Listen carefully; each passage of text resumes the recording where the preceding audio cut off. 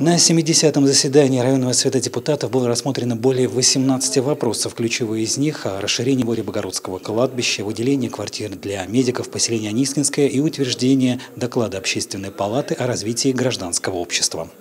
На 70-м заседании депутаты единогласно поддержали решение районной администрации о расширении границ кладбища в Воре-Богородском на 2 гектара. Важный вопрос с учетом остроты проблемы сокращения мест под захоронением. Его сопровождением занимается Управление имущественных отношений администрации. Еще одно решение депутатов затрагивает интересы жителей поселения Анискинское. Высокодефицитным врачам участковой больницы поселка Биокомбината готовится к передаче квартиры в новостройках. Новоселье должно состояться в ближайшие месяцы.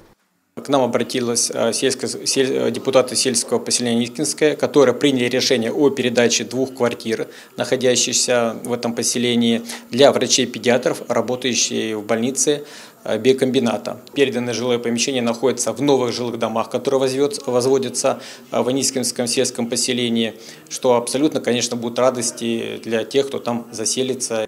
Полемику у депутатов вызвал вопрос об утверждении местных нормативов градостроительного проектирования в пяти сельских поселениях. К слову, городские поселения нормативы утверждают на своих советах депутатов.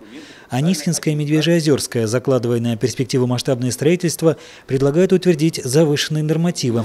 Есть численность населения, и к этой численности населения по разным а, конкретно направлениям деятельности, условно, спорт, культура, есть нормативы.